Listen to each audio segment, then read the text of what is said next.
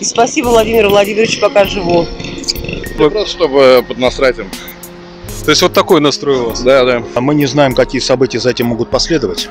Я бы хотел, чтобы события последовали. Знаете ли вы о том, что у нас будет в сентябре месяце с 17 по 19 число? Ну, да, представляю. Трехдневное голосование. Планируете участвовать? Да, конечно. А предпочтения какие-то есть? Можете На озвучить? данный момент нет, но я буду руководствоваться умным голосованием. А насколько оно эффективно, на ваш взгляд? Ну, в прошлый раз в моем районе было эффективно. В ЦАУ. А не получится ли так, что пройдет э, благодаря умному голосованию человек, который, ну, явно будет симпатизировать правящим элитам? Ну, они, скорее всего, все как бы под ними ходят, но э, хотя бы не Единая Россия, может, кто-то хоть что-то сделает. Хоть какая-то надежда. Вы- просто чтобы поднасрать им. То есть вот такой настрой у вас? Да, да. Что мне не нравится э, политика партии, так сказать. А то, то, что творит наше руководство уже последние 20 лет, меня совершенно не устраивает. Планируете ли принять участие? Нет. Почему? Ну, потому что не здесь прописано и по- не поеду ради этого на родину, чтобы проголосовать. За то, что- за что не хочу голосовать. Не хотите голосовать по каким причинам? А мой голос ничего не решит. Уже все сделано. Вы убеждены в этом? Ну, вы знаете, за все время, которое это все происходило, я думаю, да, все решено. То есть никаких шансов повлиять на ситуацию, на ваш взгляд, нет? Если был бы, пошла. А все же, если бы вы были у себя в регионе, за кого бы отдали предпочтение? А, а кто там баллотируется, я даже не знаю. Вот вы знаете, наверное, пошла бы, если пошла бы за КПРФ. Ностальгирую по тем временам. Когда отец говорил, а вы знаете, вот потом вспомните, что мы жили в такое время, и оно было стабильно. Я хотела бы стабильности, ее сейчас нет. Где ее взять? И спасибо Владимиру Владимировичу, пока живу. Планируете участвовать? Ну, да, конечно. Есть какие-то предпочтения? Ну, предпочтение в смысле за кого, за какую партию? Ну, пока не думала, но, но точно не за Единую Россию. Все. А по каким причинам, если можно?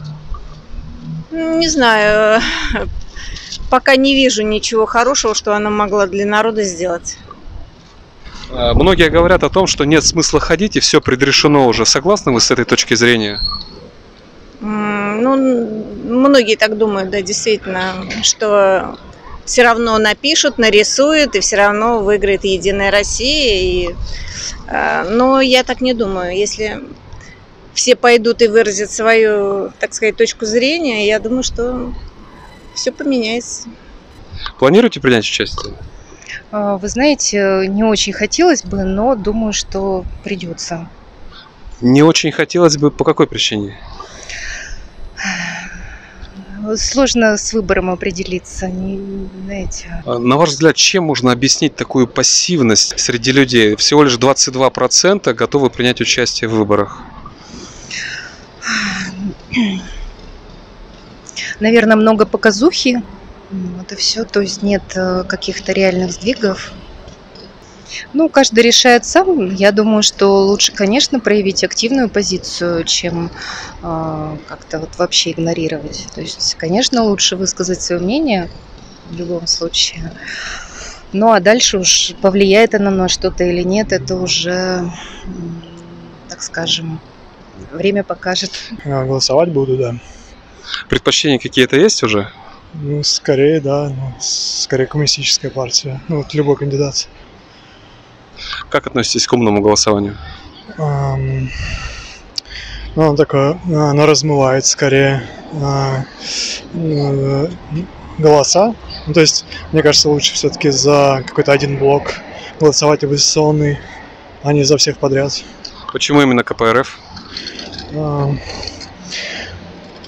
ближе к народу. Как вы думаете, ситуация в стране поменяется после выборов? А, так или иначе, хуже может стать, да, но ам, может поменяться и в лучшую сторону, да. Все зависит от э, того, от активности, да. Есть ли смысл принимать участие людям? А, Думаю, да, есть, конечно, комментарии, что лучше игнорировать и не, не участвовать в выборах, но это такая пассивная позиция. То есть, если вы не участвуете в протестах и не участвуете в выборах, то вы не участвуете вообще никак в жизни в политической. Как вы думаете, столкнемся ли мы с фальсификациями на этих выборах? Да, но они обычно не больше 10-15% от общего количества проголосовавших, поэтому если половина голосующих проголосуют там за один блок, ну какой-то оппози- оппозиционный, да, а, там правящей партии, то а, ну, хотя бы там 30-40% а, в, а, в парламенте наберут, ну, в смысле, в, в Думе. Вы наверняка слышали о снятии с выборов Павла Грудинина и э, вопросов, которые возникают к Николаю Бондаренко. Как вы можете это прокомментировать? Ну, скорее всего, это просто постановка какая-то, ну, то есть э, надуманные а, претензии, да, там, к каким-то счетам, а, сфабрикованные там дела и ну, какая-то показуха. Почему власть так нервно реагирует на оппозицию? Как, почему? Потому что придется, скорее всего, юридически нести ответственность за принимаемые решения в данный момент. а Они противоречат э, существующим на данный момент законам, ну, большей части. Знаете ли вы, какие события будут у нас с 17 по 19 число? Не знаю. Ну, если серьезно. Ну, 17 по 19 выборы вы имеете в виду? Но это не событие на самом деле. Выборы должны быть в один день. Тайные. И ну, явочные, скажем, да? Не электронные, не на три дня расписанные и так далее. Как назвать это событие, которое будет? В таком случае. Ну, пародия на ВВД. Допустим. ну, как, ну, как сказать, но та- таких выборов быть не должно просто. Вот и все. Планируете ли вы участвовать? Да, обязательно. Я знаю, что э, текущие, сказать, э, силы властные, да, они ничего хорошего нам не принесут. Значит, любая оппозиционная сила э, достойна поддержки, да, должна быть поддержана. Вот и все.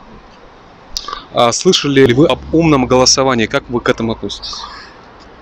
Я к этому отношусь, как теоретически прозвучало умное голосование, так же теоретически хорошо я к этому отношусь. Понимаете, да? То есть, как на практике это осуществляется, э, в каждом районе свои, ну, свои противостояния, да, свои как бы приоритеты и свои административные возможности. Поэтому, ну, что говорить. Я бы хотел, э, да, чтобы была некая альтернативная сила, э, консолидированная, да, которая все-таки страну повела бы немножко в другую сторону. Ваш, Это было бы совсем умное голосование. на ваш взгляд, результат предрешен уже? Ну, он намного предсказуем, скажем так, да. Вот. Другое дело, что э, мы не знаем, какие события за этим могут последовать. Вот. И я бы хотел, чтобы события последовали.